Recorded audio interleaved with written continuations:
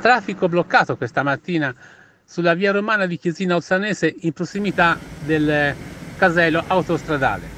Per cause al vaglio dei vigili urbani, due autovetture sono entrate in collisione. Sembra quasi un frontale e a farne le spese tre passeggeri delle due autovetture. Sul posto la misericordia di Uzzano e altre due ambulanze per soccorrere i feriti.